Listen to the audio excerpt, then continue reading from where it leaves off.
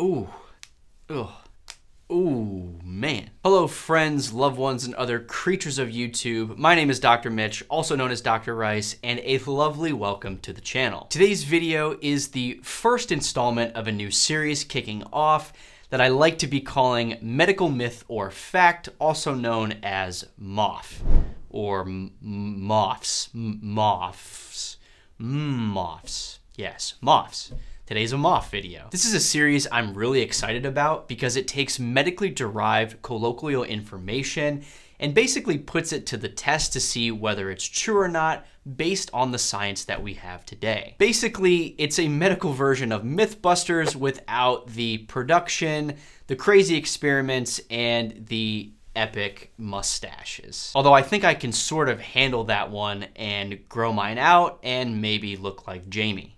Today's MOF will be centered around the idea that repetitive cracking of your knuckles, or any joint for that matter, is actually really bad for you and can lead to arthritis. Is this actually true, or is this just a myth we've been believing for many years? Stick around to find out the answer. Today's video will be broken down into a few different parts. First, we'll be talking about what the heck a joint even is.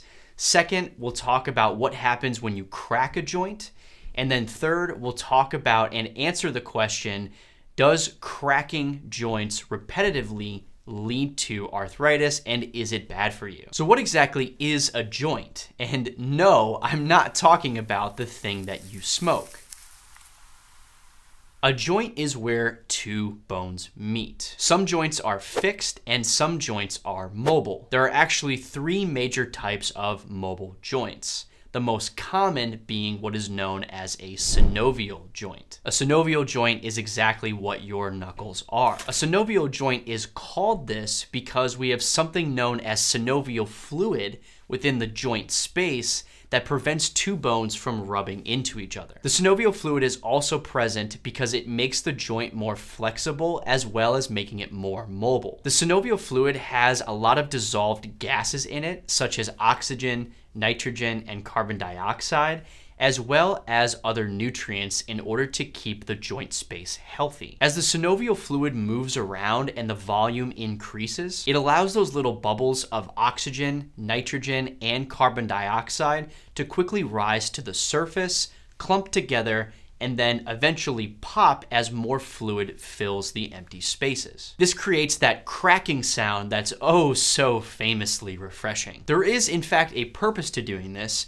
which is removal of these bubbles actually creates more space within the joint itself. This is usually why cracking a joint can lead to a transient increase in overall mobility, as well as just feeling so, so good. I think it's important to mention as well that not all cracking of joints is actually this phenomenon occurring. Cracking of your knees and ankles can sometimes be from tendons and ligaments sort of snapping back into place, but don't worry, this is completely normal. Also, after you crack your knuckles, or any joint for that matter, you actually can't re-crack the same joint for about 15 minutes. This is because it takes the joint about that long to get back to its original size, as well as reaccumulate all of those dissolved gases. Don't you dare try to re-crack that same finger you just got done cracking. I know you did it. Mm. So the million dollar question of this video is, does cracking your knuckles actually lead to arthritis? The short answer is no, it does not. So this is actually a medical myth and it's relatively pretty harmless. There's a man named Donald Unger who's actually a physician and asked this same question. He astutely sought out to answer this question by performing a little scientific experiment on himself. What this man did is that he cracked all of the knuckles on his left hand two times a day for more than 60 years and used his right hand as a control group by not cracking any of those knuckles. And the result after this 60 year experiment is that he did not develop arthritis in either hand. He published this study and actually won a Nobel Prize for it. What a genius. So the overall consensus is this is a medical myth and cracking your knuckles is generally pretty harmless. I do say generally pretty harmless because if cracking a joint leads to increased pain,